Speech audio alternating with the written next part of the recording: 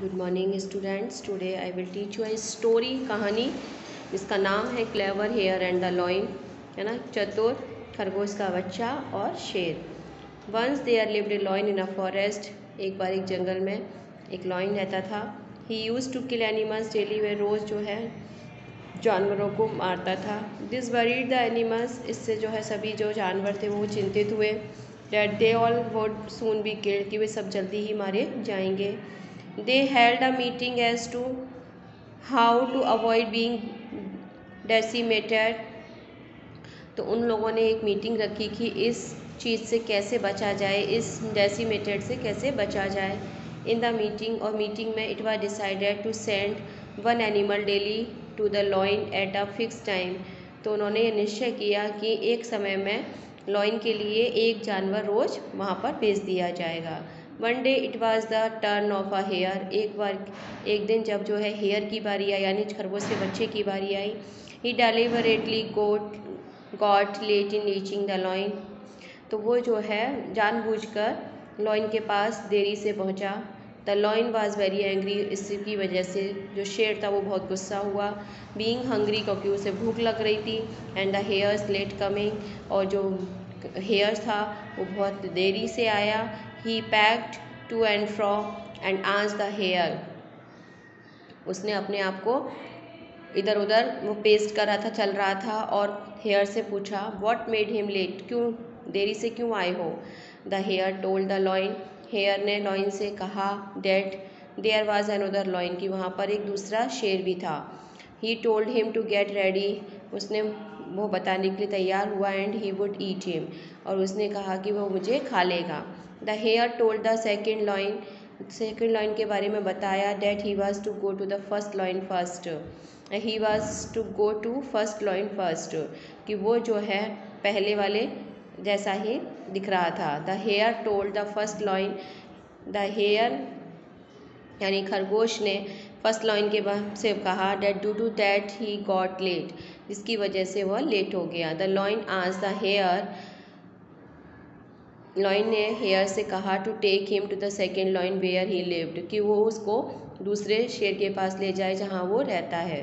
The hare took him to a well जो खरगोश था, वो उसको एक कुएँ के पास ले गया एंड टोल्ड द लॉइन और लॉइन से कहा that the second lion lived in the well कि जो दूसरा शेर है, वो इस कुएँ में रहता था। द फ़र्स्ट लॉइन व सॉ हिज रिफ्लेक्शन पहले शेर ने अपनी जो छाया थी रिफ्लेक्शन मतलब छाया shadow on to the water पानी में देखी ऑफ़ द वॉल कुएँ के पानी में देखी एंड रॉयर और दहाड़ा। हिज रॉयर री साउंडेड उसकी जो दहाड़ थी कुएँ के पानी में फिर से वापस आती है तो फिर से वापस आई and it made the lion understand और इससे जो है, शेर समझ गया that the second lion really lived in the well कि जो दूसरा शेर है, वो वास्तव में उस कुएँ में रहता था। The lion intending to kill the lion lion जो है, उस दूसरे शेर को मारने की इच्छा से इरादे से the well jumped into his death तो वो कुएँ में कूद गया और उसकी मृत्यु हो गई। The clever hare saved all the animals from death clever उस चतुर खरगोश के बच्चे ने अपने आप को और सभी भी जानवरों को मृत्यु से बचा लिया। इस तरह से उसने ये अपनी क्लेवरनेस दिखाई कि एक झूठी कहानी रचकर और उस लॉइन को ही कुएँ में ढकेल दिया, यानी खुद ही मर गया। तो ये चतुराई थी कि किस तरीके से अपनी जान बचाई जाए मुसीबत में और अपने साथ अपने दूसरे साथियों की भी जान बचाई। तो इसको आप लिखना कॉपी पर और याद भी करना। मैं एक बार और रीड कर देती हूँ।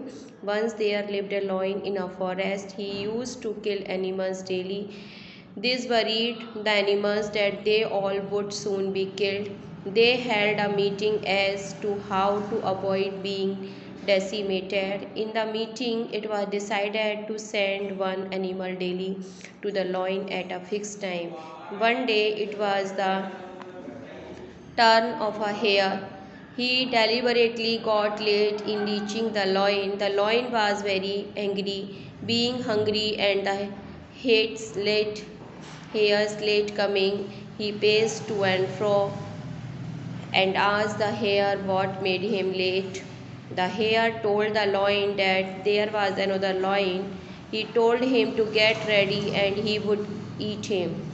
The hare told the second loin that he was to go to the first loin first. The hare told the first lion that due to that he got late. The lion asked the hare to take him to the second lion where he lived. The hare took him to a well and told the lion that the second lion lived in the well.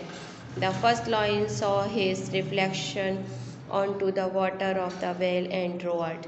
His roar resounded and it made the lion understand that the second lion really lived in a well. The lion, intending to kill the lion into the well, jumped into it to his death. The clever hare saved all the animals from death. Okay, thank you.